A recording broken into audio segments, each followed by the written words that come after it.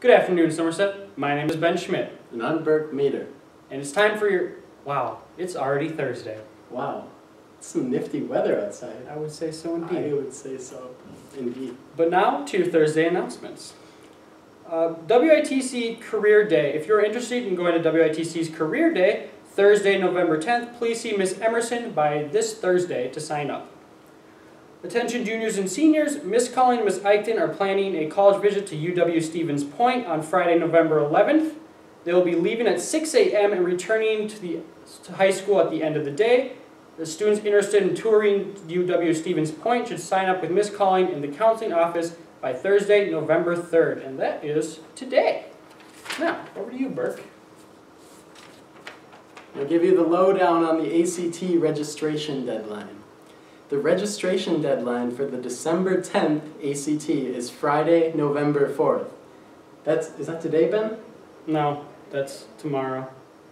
But we ain't got school tomorrow, whoop whoop, so get Whoa. it in today. Students should register online at actstudent.org. The SAT registration deadline is Thursday, November 3rd. That is today. Students should register online at www.collegereadiness.collegeboard.org. So, I've been informed that a lot of you are stressed, especially through seniors. Here's some 10 tips to help you deal with your stress. Number one, meditate. Number two, breathe deeply.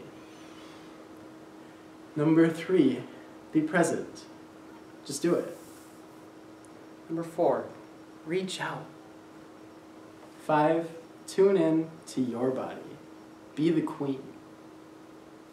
Number six, decompress.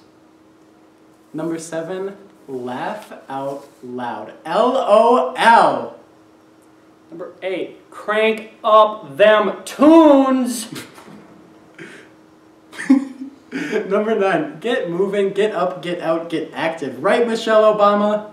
And number 10, be grateful. That's all you gotta do. And then stress free. Well, we hope that those 10 tips will help alleviate some of the stress in your life. Now, for today's random fact, did you know that stressed is dessert spelled backwards? The more you know. Just gotta flip some perspectives. We'll be flipping perspectives all around here, but that's your Thursday announcements. See you Tuesday, Somerset. Aye, aye, Captain. And as long as